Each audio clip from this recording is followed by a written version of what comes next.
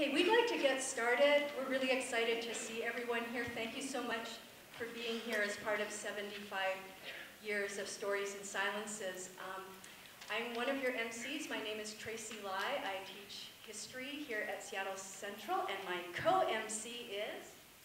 Hi, my name is Alia Marsha, and I was a student here a number of years ago, and I'm now a journalist, and I will also be your MC today.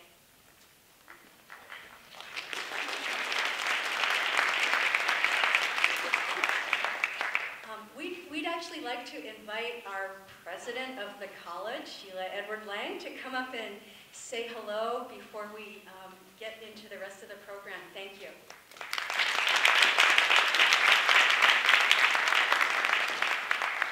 Thank you, Tracy, for giving me the opportunity to say welcome to those of you who are here and to thank those of you who have organized this important remembrance today. It, it, seems like a very solemn occasion um, for us to recognize 75 years ago that members of our community were disrespected and taken out of our community and their lives were changed forever. But I think it's important for us to remember to, to give voice to their stories, but also to make sure that the next generation knows and is vigilant about this because this can happen in the United States of America. And we know that if we don't pay attention to history, we are doomed to repeat the mistakes of the past. And uh, the, the threat of that is so um, imminent right now um, given what is happening in our national political um, climate. So giving voice to the stories of those who were removed from our community um, is an important reminder of what can happen and what we have to be vigilant against as a community. So thank you so much for telling these stories, for sharing them with um, our students and with the next generation. Thank you.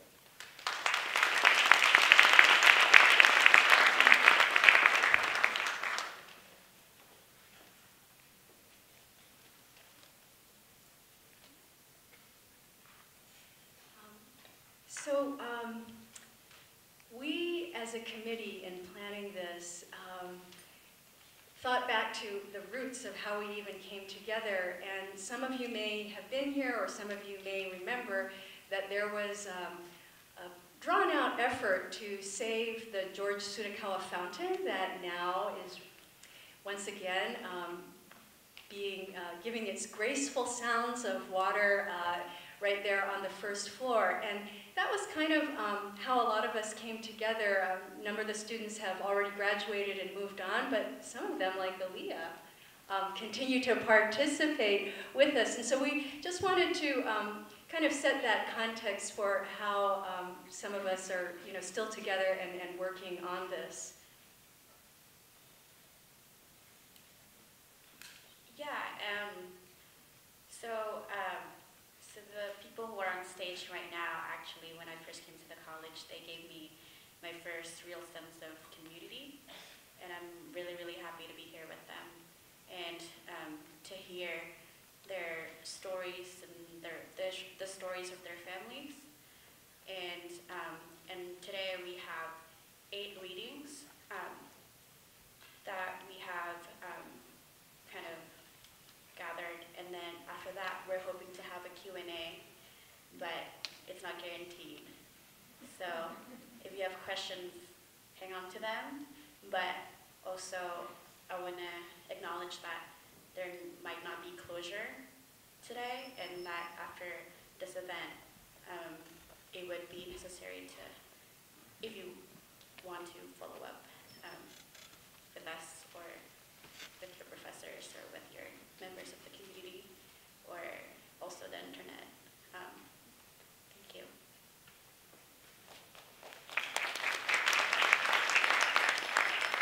Uh, People who are still in, you're welcome to sit, come to the front, come to the front. It's, um, then you'll feel like you're right here with us as readers.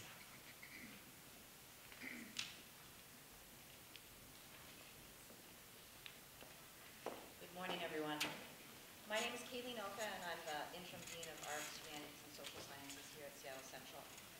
And um, you're going to hear a number of stories today, and my um, s- my family's story is very similar to the stories that you'll hear today, although different in one aspect, uh, in that my family's Canadian and I'm Canadian.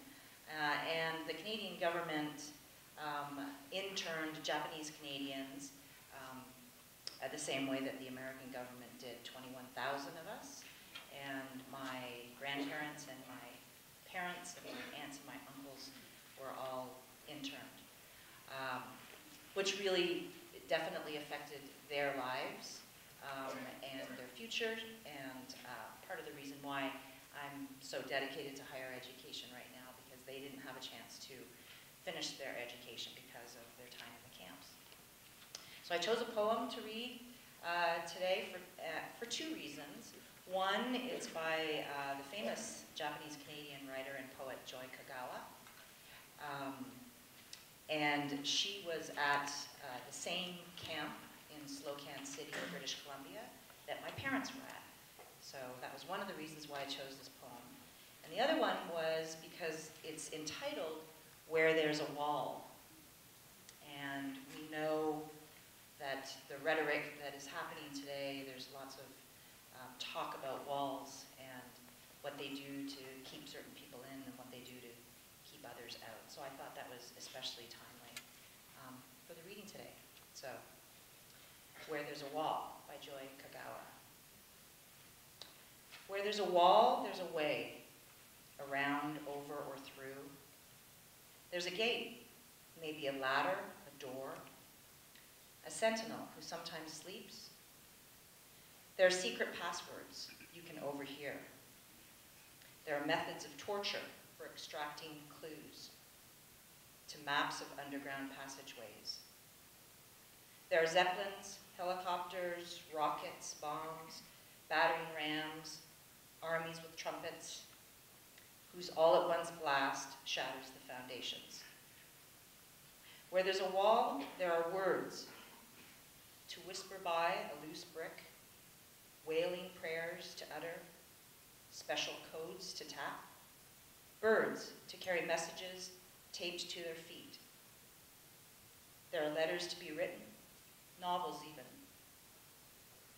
On this side of the wall, I am standing, staring at the top, lost in the clouds. I hear every sound you make, but cannot see you. I incline in the wrong direction. A voice cries faint as in a dream from the belly of the wall. Thank you.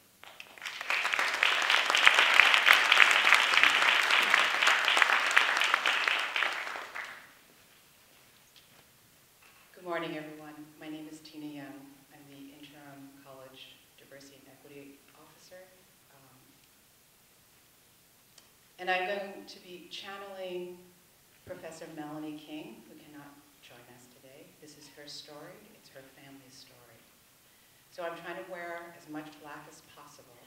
Um, For those of you who have taken her classes or are in her classes, for those of you who have worked with her, and I know that I'm not going to do justice to her story. And I know I'm going to cry. So please forgive me. The remains of my family. My great grandmother was the first fatality of the evacuation. The relocation, whatever it is we choose to call it, so as not to make it seem like the crime that it was. Days after the announcement we made, was made to evacuate and they arrived at the First Assembly Center, she was gone. My great-grandfather had to carry her ashes with him for the duration of the war. Once the war was over, he took her ashes back to Japan in the hopes that she might be able to rest peacefully there. The spirits of those who have passed are still with me. While my great-grandfather was incarcerated, he made a dresser from salvaged wood. I have inherited that dresser.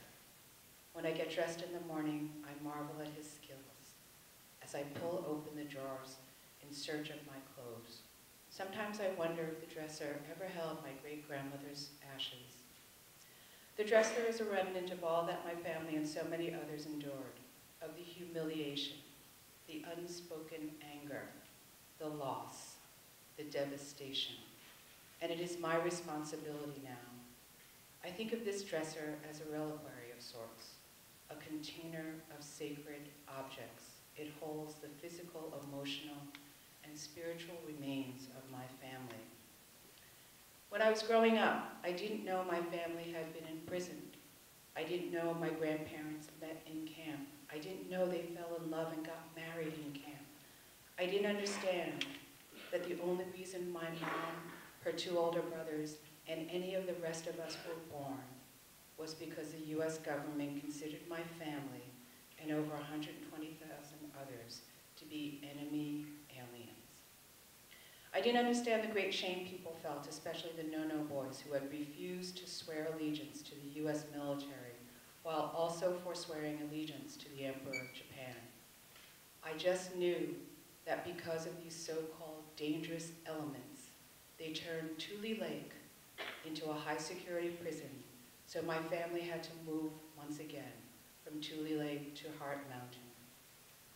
I also didn't understand the immense trauma, loss, and pride felt by those who fought in Europe in the all-Nisei Japanese-American only 442nd Regimental Combat Team. I just knew to look for pictures of my twin uncles because they sometimes would show up in photographs in museums, books, or in films. I didn't realize I was different until someone called me a yellow bitch. I didn't realize how angry I was when friends called people Japs. I didn't realize I didn't belong here until someone told me to go back to my country. I didn't realize how much I heard that no one came to my defense. I also did not realize who I was until I started to talk to my family and learn their stories. So I went in search of my roots, leaving the country that was rejecting me for a country that wasn't mine. I didn't understand why I was living in Japan until I lived, I visited my great-grandmother's gravesite. It was there that I realized how powerful the spirits were when my mom and I removed some of my great-grandmother's remains so that we could take her back to the States to be reunited with the ashes of my great-grandfather. Sorry. Keep in mind, I am Yonsei. I am proudly and fiercely fourth generation Japanese American. And keep in mind that because of who I am, when I was born and all that my family and others have endured, I had the privilege to get angry when I learned about the incarceration and the no-no boys and the 442nd and everything that was stolen from my family and 120,000 other innocent people. One last story. My grandfather loved to eat figs. In my grandparents' backyard, there was a beautiful fig tree that supplied my grandfather with figs.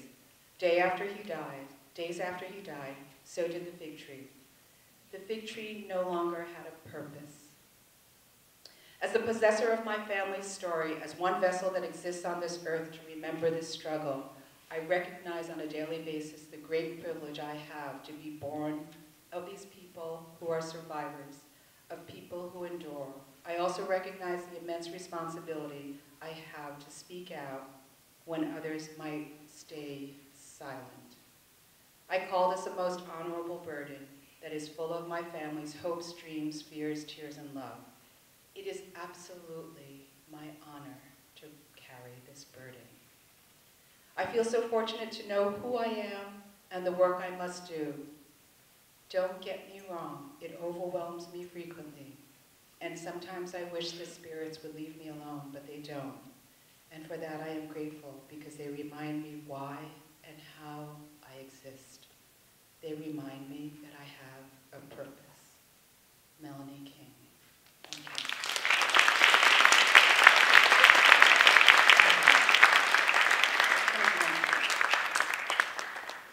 Want to share with you, um, this was designed by Frank S. Fujii, who used to teach here at Seattle Central. He was also an administrator. And it was also on this stage that under, during the time of reparations, Frank testified. Um, he was incarcerated He's no longer with us, but he did design the first Day of Remembrance logo in 1978, and this is it. So I just wanted to share that with you too.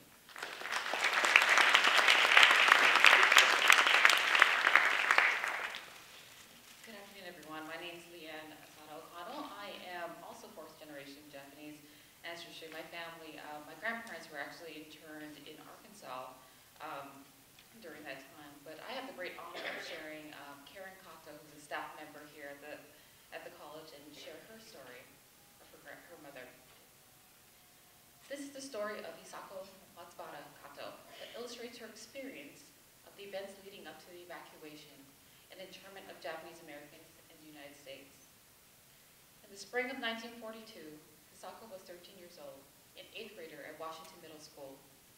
She grew up in Seattle's Japantown near 6th Avenue and Main Street.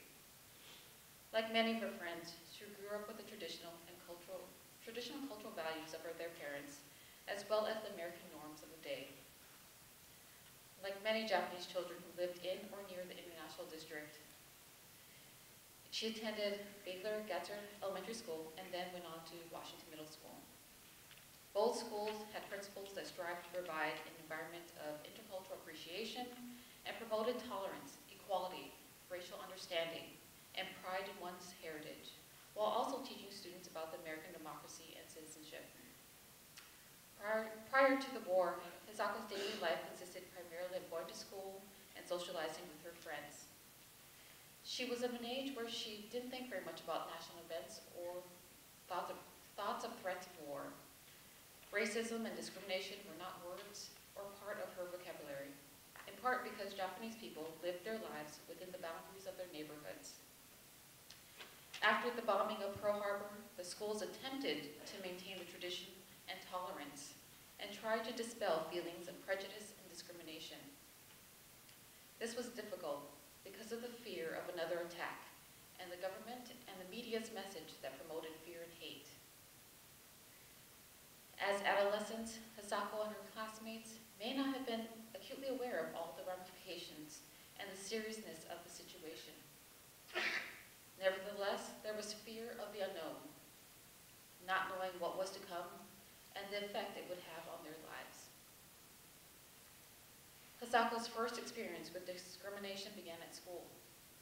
It was hurtful when white classmates began distancing themselves from the Japanese students, and other students of Asian descent began distinguishing themselves from the Japanese students. So they wouldn't be subjected to the prejudice directed towards Japanese. Many friendships were severed, and this was primarily due to the influence of parents of their classmates. At times, name-calling at school often escalated into fights. Identity and peer acceptance are normal concerns of adolescents, and this became more complicated during the war and the subsequent evacuation orders. Later in life, Hisako would say that the portrayal of the Japanese and how they were viewed with suspicion were innately known, but couldn't put into words at the time. It was confusing for many of the students because their school lessons in tolerance and citizenship were in direct contrast with the American public's view of them. With the news of the impending evacuation, Hisako worried about her family. In many homes, including Hisako's, children often felt the concern and despair of their parents. Children would often watch as their belongings and memorabilia were sold, burned, or entrusted to non-Japanese friends. Hisako would later say that although she was at an age where you did what you were told, you really didn't have a voice, and the uncertainty was really was real. Indeed, not having a voice was the feeling of many for both young and old. Most Japanese felt there really wasn't anything they could do but show their loyalty to the government. Also, Hisako also acknowledged that her views and experience were probably quite different than others' age groups. The executive order was signed 75 years ago, yet there are parallels that are happening today. The executive order was motivated by racial prejudice, wartime hysteria, and the failure of the political leadership. Japanese priests, language instructors, and community leaders were arrested prior to internment, and the 120,000 people of Japanese descent were forced into internment camps. 75 years ago, Japanese were required to be registered, and in Seattle, elementary-age children were fingerprinted at school and issued identification tags. It is a shame we're moving backward and not forward. But the events such as this, excuse me, help us to remember that we don't want to repeat history again. Thank you.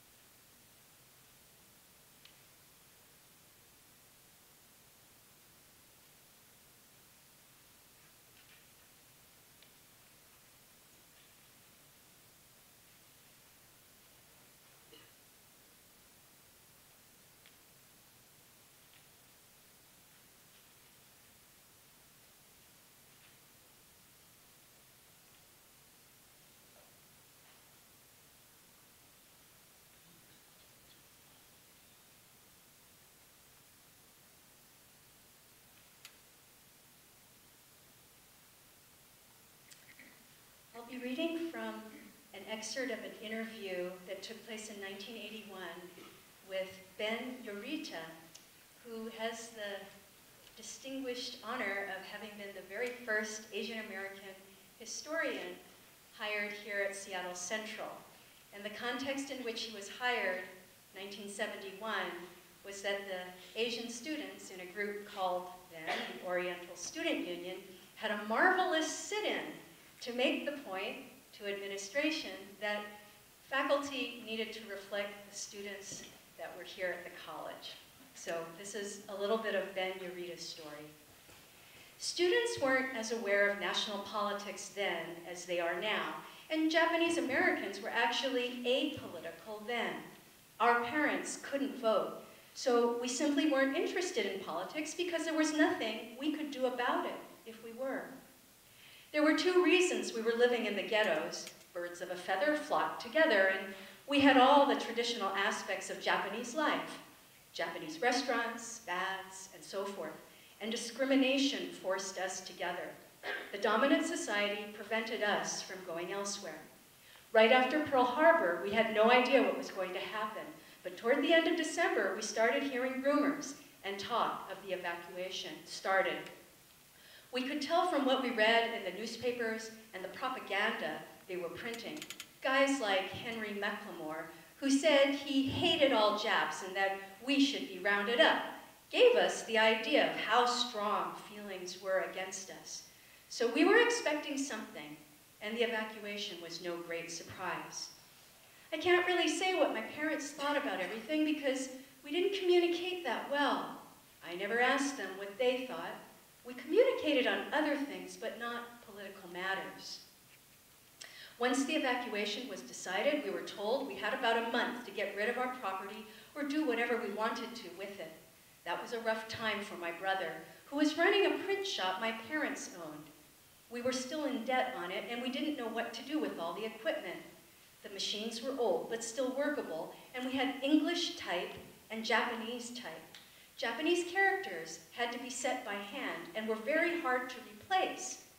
Finally, the whole works were sold, and since nobody would buy the Japanese type, we had to sell it as junk at 50 cents a pound.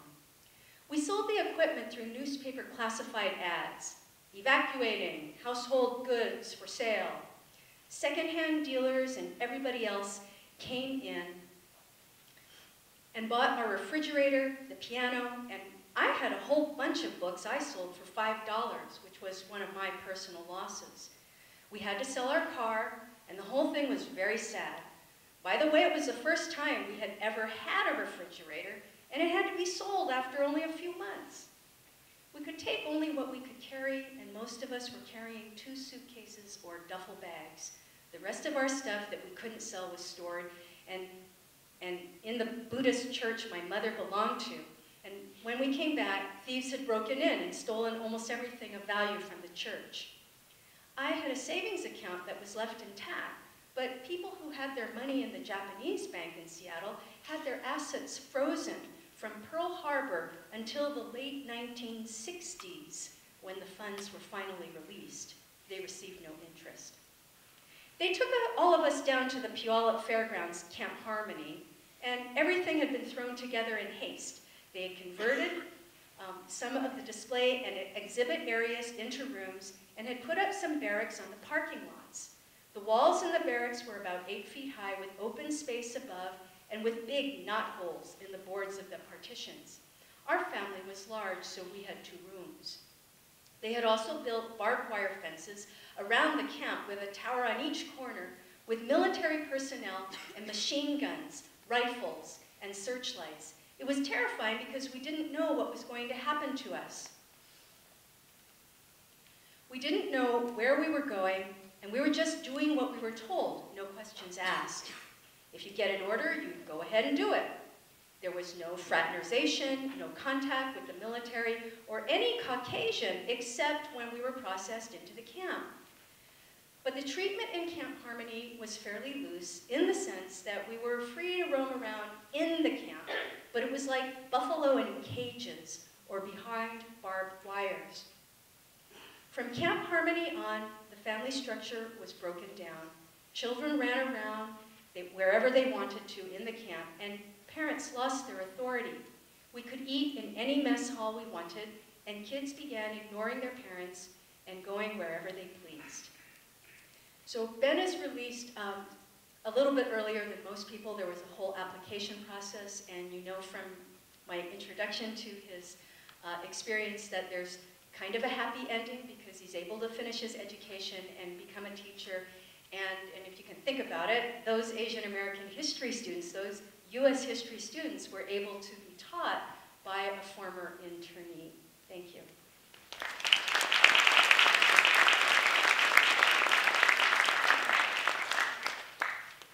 Good morning, everybody. My name is Shina Kashino. Um, I am a current student here at Seattle Central in the ABS program. Um, I am both Japanese and Chinese American, fourth generation, so I'm part of the Yonsei generation that has been mentioned uh, previously. Um, I'm going to be reading um, part of an interview from my grandmother, who was a former student at Broadway High School before um, it became Seattle Central. I was not quite 16 yet. I was 15 when Pearl Harbor happened. I remember talking with my brother, and never did we think that we as citizens would be incarcerated. But much to our surprise, I think it was February or so, that the rumors really got strong. And then sure enough, by March, the first group was removed from Bainbridge Island. We didn't get any notice or order or anything in the mail served to us. I work in the legal profession, so I know that you have to be subpoenaed and so forth. But we didn't get any kind of notice like that.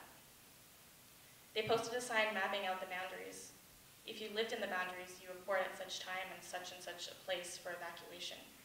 That was the way we had to go. And just because we were a very obedient society, we did what we were told. I remember going and saying goodbye to a lot of my friends who were leaving before me, but in the meantime, my parents were trying to sell a grocery store and sell our car and things like that. And naturally, we're totally exploited. My parents almost gave up on selling our grocery store. They figured they're just going to give all give away all the groceries that were on the shelves. But then luckily we found somebody that would buy it. And they gave us a token amount for that. I think it was $2,000 for the whole store. The day of, of evacuation was very, very emotional for my parents, and they packed up as much as they could. We carried as much as we could, and we took a taxi cab to 14th and Jefferson. That was our allocated pickup point. I was, I just brought as much clothes and mementos that I had, what few I had. When we got to our allocated spot, we saw a lot of folks we knew, and it was total chaos. Here, hundreds of people converging. They took us by bus to Puyallup. One of the things I remember is they gave us each a bag, and we had to go to the pile of straw that we're supposed to fill. That was our mattress. They had cots in, in the barracks, and then we had to fill our bag. For our mattress was strong. Luckily, we were in one room in barracks, right inside the grounds of the racetracks. So many others had to be under the grandstand where the horse stalls were and all.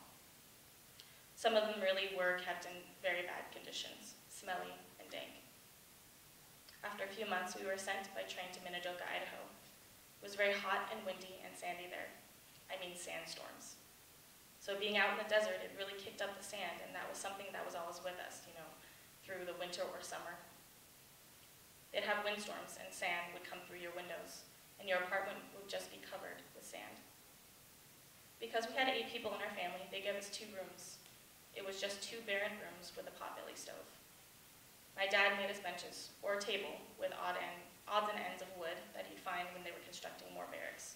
So he'd go out and find some, and use his ingenuity. Made some shells for us. Thank you.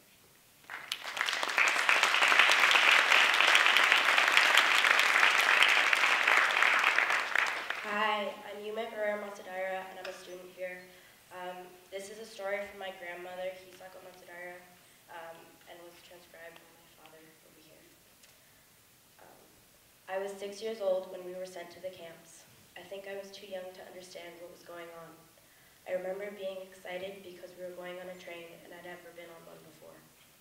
On the day of the evacuation, an army truck came over to our house to get us. I remember the soldiers with guns, but I don't remember feeling scared of them. We took the ferry from Bainbridge to Seattle and got on a train. It took us two days to get to Manzanar. I remember running around with lots of kids and the soldiers looking out for us. Some of them seemed sad. The camp was hot and windy and sand blew all over. You'd have to hunch down to protect yourself from flying sand. Our apartment didn't have any furniture, only cots and a stove. I didn't like that you had to go outside to go to the bathroom, especially at night. But it was kind of an adventure for me. There were lots of kids to play with, and I would run around all over the camp. Looking back as an adult, I think my mother must have been worried. She didn't know what was going to happen to us. Nobody knew. She never let on about how hard it was, it was though, and I was too young to notice. One memory I have of the camp is about my papa. Sometime after Pearl Harbor, FBI agents came to our home on Bainbridge and told Mama, and Mama told me that Papa had been taken away to prison. I even remember the dress she had on that day. And she was crying, and it was the first time I'd ever seen my mother cry. The only prisoners that I knew were criminal prisoners, and I couldn't figure out why they had taken my papa and put him in prison. He was still there when we were evacuated from Bainbridge. I don't know how long it was until they released him. Maybe a year. We were in Manzanar before Papa came home. And I ran away and hid from him in the bathroom. All day long, from morning to lunch, and I could hear Papa calling out to me. Everyone saying, Kisa, Papa is home. But I hid in there. And I was just so ashamed of him that I couldn't come out. I had this feeling that he was a criminal.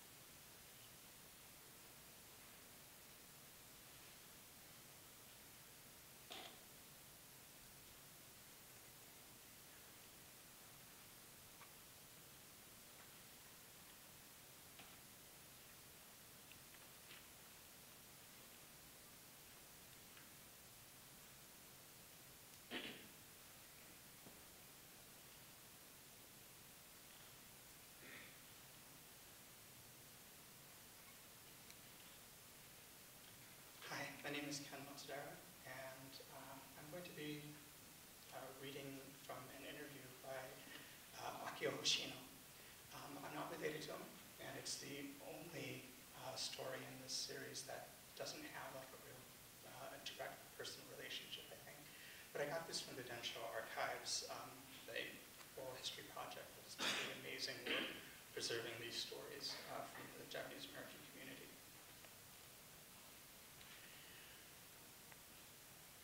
When the war started, I enrolled in, I think it was called the Home Guard in those days. It was kind of a quasi-military type training in preparation for anything that should happen.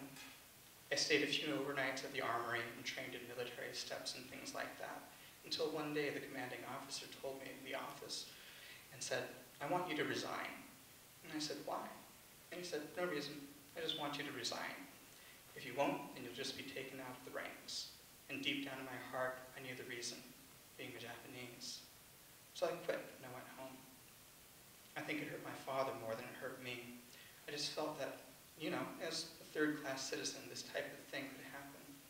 But for my mother, she was hoping that bringing us up here as American as possible, we would be treated fairly and squarely. And to be picked out, be picked out because of our ethnic origin, she felt that we still didn't have our chance in this country. And you have to remember that my parents were not allowed to become citizens at that time yet. And so I guess their hope was that America would be, be my country to uphold. One of the most controversial parts of the internment was the registration and loyalty questions. I wish I could remember the real details of that. Of course, we discussed it in our family, and we didn't know what our future was. Here we were citizens, and we were yanked away from our homes and put behind barbed wire. We didn't know what our status was. My sisters were still quite young, and my parents, of course, were aliens. Big thing that we had in mind was being sent back to Japan, expatriated. For me, there wasn't much choice. I mean, the family was the only sure thing that I had at the time. I felt my government had forsaken me, and so I decided that I'd, that I'd stick with the family unit as the group. And since my parents, being non-citizens here, I guess it was sort of understood um, that they would sign no, no. And I decided I would go along with them. And it did, and it did raise quite a stink in the camps. It broke apart families.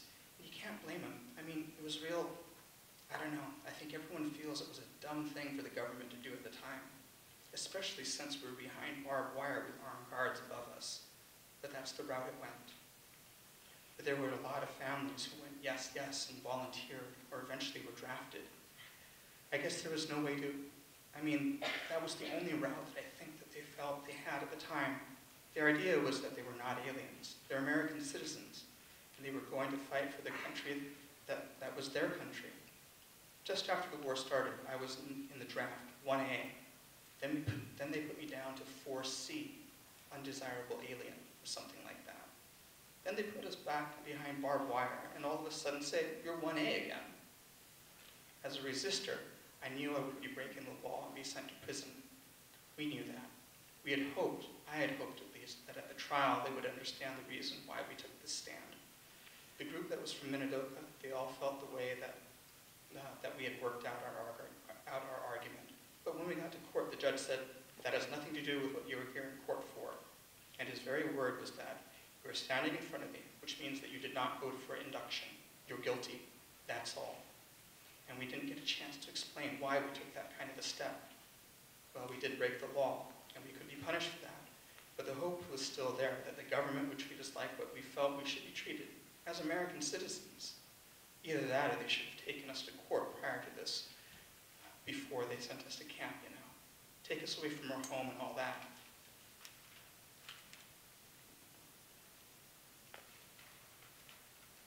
Many people are surprised that such a thing could have happened in this country, that the mass evacuation without court order, U.S. citizens being herded by armed American soldiers to camps and placed under guard behind barbed wire.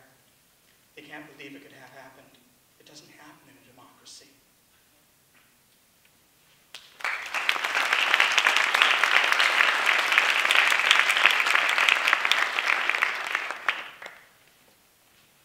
Good morning. My name is Deborah Uno. My family's number was 10936. Camp Harmony was the unofficial euphemistic name of the Puyallup Assembly Center, a temporary facility within the system of the internment camp set up for Japanese Americans during World War II. Six members of my immediate family, my grandparents, my parents, and two of my sisters, were incarcerated in the concentration camps. I didn't find out about this until I was 15 years old. It wasn't in any of the U.S. or Washington State history classes I took. My parents, like most other Nisei and second-generation Japanese Americans, did not talk about these things. At a friend's home, I came across a book by Mine Okubo called Citizen 13660. It was a collection of 189 drawings and accompanying text chronicling her experiences of life in Japanese American camps during World War II. I went through it really fast and was thinking, who did this happen to? I must have talked to my friend's parents, and by the time I got home, I was so angry with my parents. I was banging on the door, when my mother opened the door, I screamed. How could you just let 120,000 of you be marched into these camps? And why didn't you just, why didn't you ever let me know? She answered that she knew I wouldn't understand. She said that her parents taught them to obey authority. My parents and sisters were American, American citizens born here. My grandparents immigrated from Japan about 40 years before. Aliens, as they were called then, were not allowed to become citizens. My mother was eight months pregnant when the notices were posted for them to evacuate. Her doctor came to the camp, went to the camp to check out the hospital and found out there was no hospital. He told my mother that she could not have her baby there and that he was going to induce labor as long as she was in the hospital. She didn't have to go to the camp. My sister was two weeks old when they went in. She was the youngest internee in Washington State. In 1978, a number of us Japanese Americans were going to caravan to Puyallup to talk about reparations. One of my uncles was visiting from Alaska, and I asked him to come with my mother and me. Was always a really mellow, quiet, soft-spoken guy. But he looked at me and started yelling, are you crazy? I was there once, and I never want to see that place again. My father used to take me to the Puyallup Fair every year, and I remember asking him if my mother was coming. He said, Mom doesn't like fairs. After the incident with my uncle, I understood. My mother probably never wanted to see that place ever again either.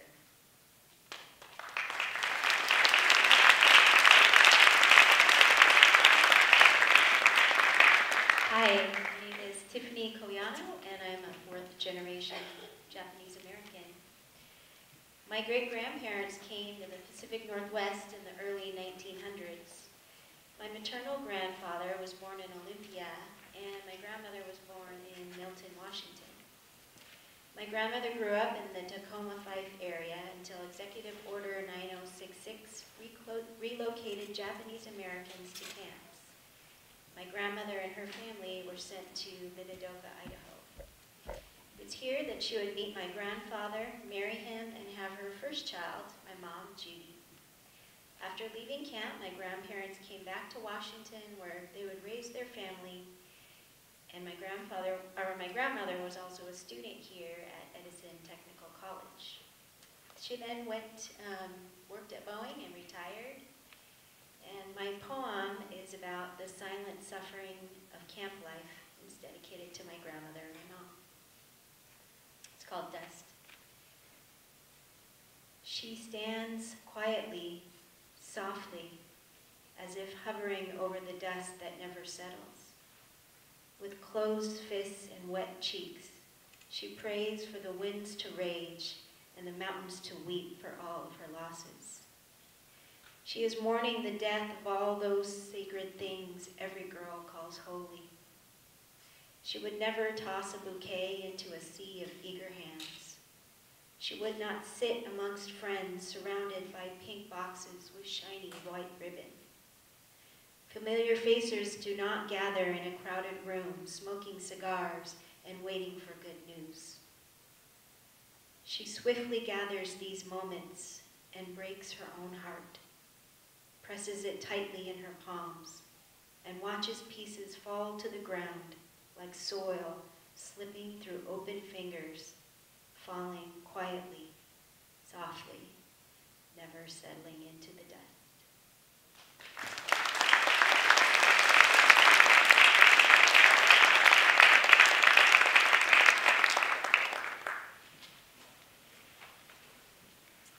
We know that a lot of you have to go to your 12 o'clock classes, but we wanted to express our appreciation for your taking time to be with us today. Um, uh, I'd also like to thank Ken Matsudaira especially for having organized our photos and providing the words um, that served as a backdrop.